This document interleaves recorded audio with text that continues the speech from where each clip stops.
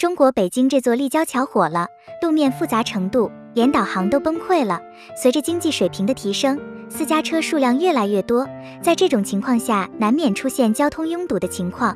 为了改善堵车现状，很多地区开始修建立交桥。说起中国立交桥最多的城市，那就非北京莫属了。这不，中国北京这座立交桥火了，路面复杂程度。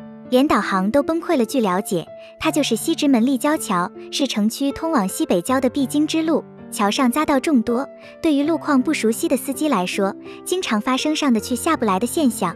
而西直门立交桥也因为其设计过于复杂，被称为第九奇迹。耗费四年，投资二点一亿元，西直门立交桥拔地而起。本来修建立交桥是为了缓解交通拥堵，可谁想到仅仅两年时间，这里就成了北京最堵车的地方之一。之所以出现这种情况，是因为西直门立交桥的交通标志太多，有近百个之多，路面状况如此复杂，就连导航有时候都会崩溃。